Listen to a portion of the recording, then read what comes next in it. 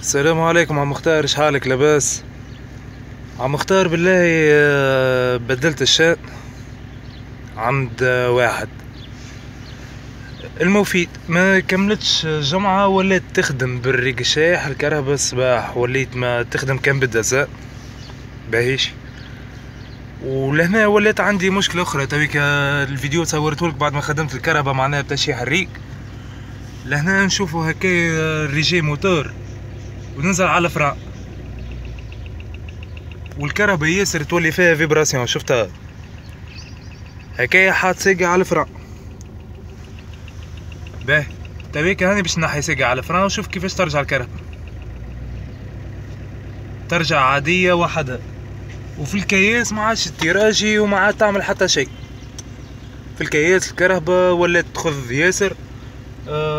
première deuxième troisième quatrième كيف كيف cinquième نحطها تولي تفيبري جملة من جملة الميساجات اللي مطلعتهم لي أنا عندي l'ABS ماهوش راكب عندي défaillance électrique وعندي المدة الأخرانية بعد ال chaîne ولات طيلع لي في ديريك آه injection à contrôler حبيت نسألك عندكش معلومة؟ تعرف شنو هي الحل متاعها هذا الكل نزيد نقول لك بعد ما بدلت ال chaîne كانت فيها ال chaîne القديمة الكرهبة دوب ما نسخنها ونخدمها.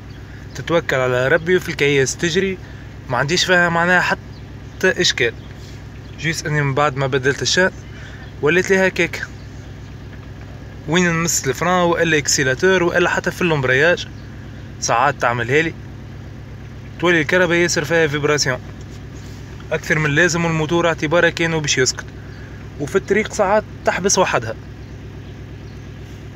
كان تعمل مزية وإلا كان عندكش جراج وإلا حاجة معناها تقولي شنو les problèmes اللي فيها ونجيبها لك.